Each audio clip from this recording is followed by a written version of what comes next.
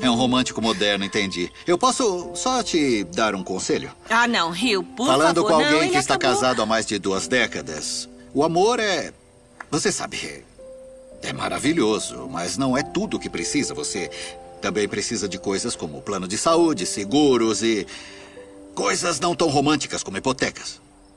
Eu sei disso, mas eu tenho certeza que um dia eu vou ter tudo isso, mas eu acho que o amor vem primeiro, sabe? No fim das contas, o que é mais importante? Oxigênio? Cala a boca, Keith. Sabe, eu. Eu já vi de perto. Eu sei como é quando ele existe.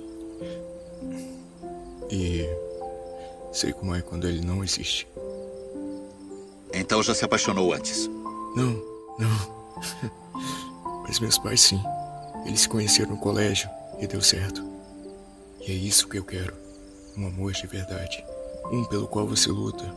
Que sempre te coloca em primeiro lugar. Que faz você querer ser bom e melhorar.